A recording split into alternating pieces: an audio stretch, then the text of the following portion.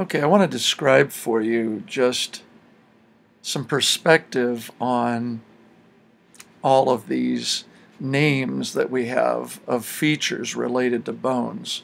Sometimes this is a little confusing for students as they get started because so many of these names are new to them.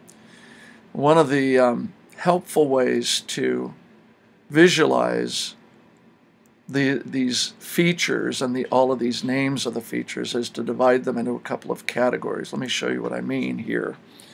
Um, when you deal with a bone, um, every bone in the human body has a general shape to it. It might be a flat bone, it might be a rod-like bone, um, a long bone, it might be a blocky bone, a short bone.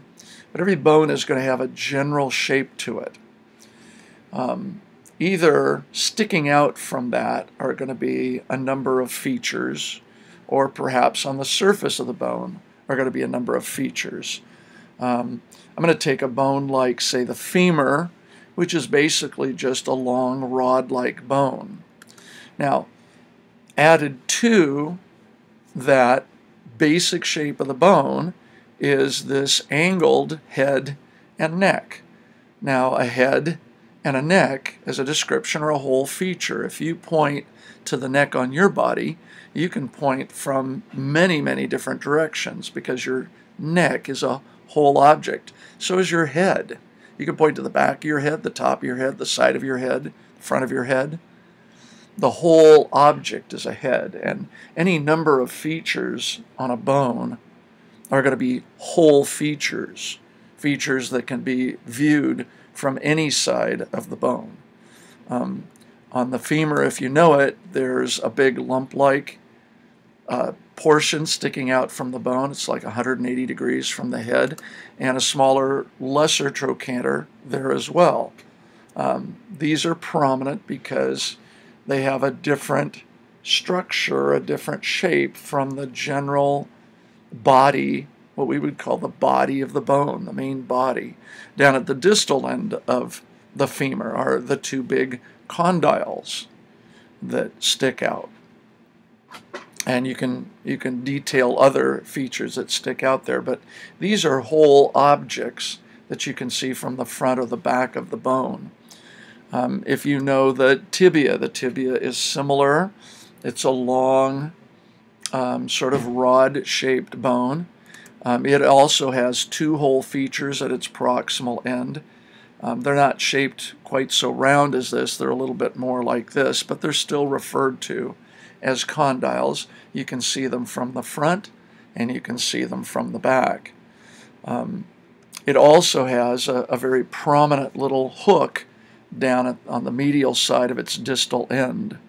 So when you're looking at a bone and you're trying to study its features, you want to see a number of the features that you're going to learn as whole objects that can be seen from any angle, front, back, sides, wherever. Now contrast this with some of the features you're going to learn that are typically surface features. They may just be on one side of the bone or the other. Um, for example, on the femur, on the posterior side is something called the linea aspera. It's sort of a ridged line that runs down the back.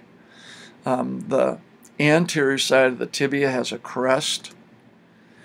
And both bones have tuberosities, uh, roughened areas that stick up from the bone. The, the roughened surface is something where a muscle is attached, but you're only going to see this on the posterior side of the femur or the anterior side of the tibia. If you turn those bones around, you won't see these.